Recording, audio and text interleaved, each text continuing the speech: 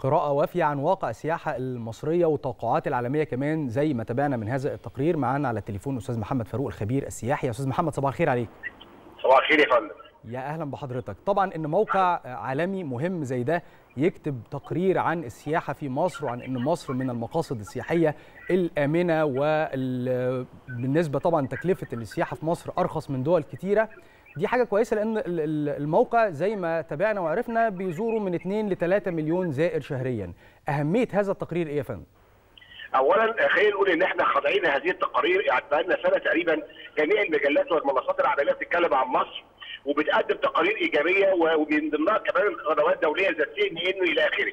فهذا التقرير طبعا بيضاف إلى باقي التقارير التي الدورية اللي بتقال عن مصر بمعدل شهري وده بيؤكد وبيساعد جدا في الترويج للمنتج السياحي المصري وبيؤكد على مصداقية هذه التقارير اللي بتصدر عن مجلات دورية وقنوات دولية وكذلك وكذلك مواقع عالميه. طبعا هذا كل هذا الكلام منقول نتيجة الواقع الحقيقي اللي إحنا فيه إن مصر الحمد لله آه تم فيها التعديل والتطورات اللوجستية والبنيه التحتية بالإضافة طبعا لعنصر الأمان مباشر إلى زيادة هذه الأعداد اللي متوقع إن شاء الله بتزيد تاني وأكثر أكثر من 5 مليون إن شاء الله.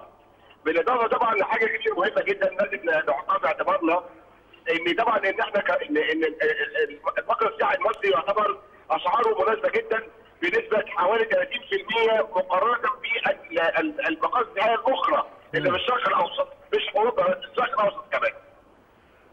أكيد.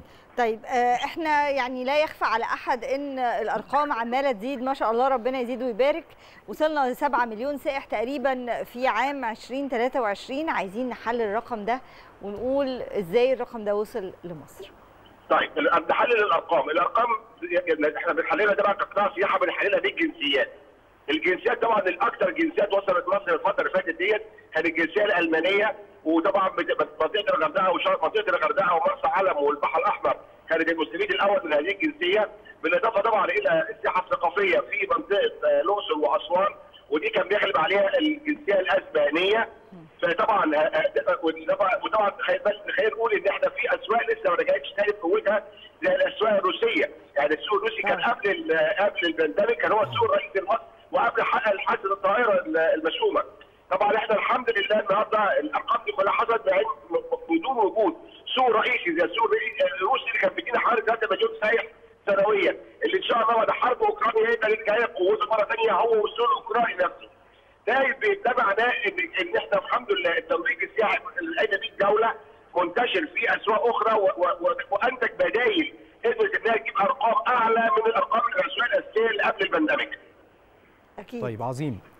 الرقم اللي حضرتك ذكرته وبالشرح والتحليل كده على الجنسيات اللي كانت موجودة ده مهم جدا عشان نعرف الأماكن اللي إحنا محتاجين نروج لها أكتر عن المقاصد السياحية المصرية وتهتم بهذا الأمر طبعا وزارة السياحة والآثار والمعنيين بهذا الأمر إن هم يروحوا لهذه البلدان ويروجوا أكتر في للسياحة في هذه البلدان. من المتوقع إن إحنا نوصل ل 15 مليون وأعتقد إن ده رقم معقول في ظل اللي بيحصل في العالم كله في ظل الفترات الصعبة اللي مرينا بيها قبل كده في العالم ومش في مصر بس بس أعتقد إن الرقم ده معقول. عشان نوصل لهذا الرقم يا فندم إزاي نقدر نساعد في الوصول لهذا الرقم من خلال الترويج لمقاصدنا السياحية؟